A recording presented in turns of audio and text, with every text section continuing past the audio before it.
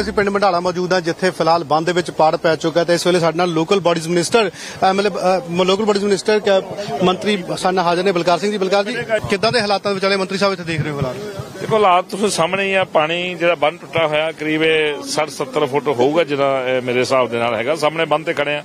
ਰਾਤ ਵੀ ਸੰਤ ਬਲਬੀਰ ਸਿੰਘ ਜੀ ਸੀਚੇਵਾਲ ਜਿਹੜੇ ਰਾਜ ਮੈਂਬਰ ਰਾਜ ਸਭਾ ਆਪ ਬੰਨ ਦੇ ਉੱਤੇ। ਔਰ ਮੈਂ ਆਪਣੀ ਜ਼ਿੰਦਗੀ ਦੇ ਵਿੱਚ ਪਹਿਲੀ ਦੇਖਿਆ ਕਿ ਪਾਣੀ ਗੂੰਜਦਾ ਹੋਵੇ ਦਰਿਆ ਦੇ ਵਿੱਚ।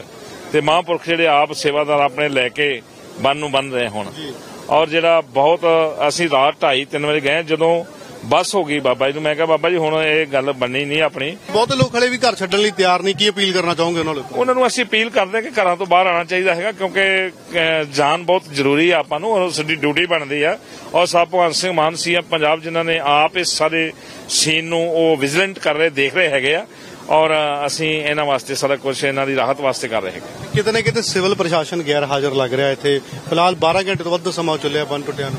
ਉਹ ਤਾਂ ਸਿਵਲ ਪ੍ਰਸ਼ਾਸਨ ਵੀ ਕੁਝ ਹੈ ਸਾਡੇ ਅਧਿਕਾਰੀ ਆਏ ਵੀ ਹੈ। ਉਹ ਦੇਖ ਰਹੇ ਸਾਰੇ ਆਸੇ-ਪਾਸੇ ਲੱਗੇ ਹੋਏ ਆ। ਬਹੁਤ ਬਹੁਤ ਧੰਨਵਾਦ ਜੀ।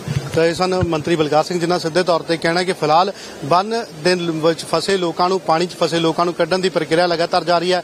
ਰਾਹਤ ਕਾਰਜ ਚਲਾਏ ਜਾ ਰਹੇ ਨੇ।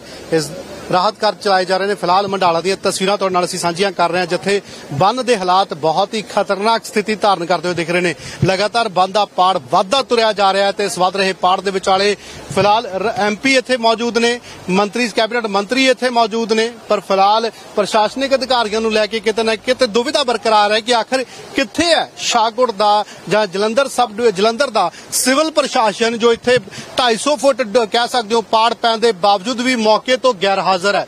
ਇਸ ਨਾਲ ਮੈਨੂੰ ਦਿਓ ਇਜਾਜ਼ਤ ਹੋਰ ਅਪਡੇਟਸ ਲਈ ਵੇਖਦੇ ਰਹੋ ਜਗਬਾਣੀ ਟੀਵੀ।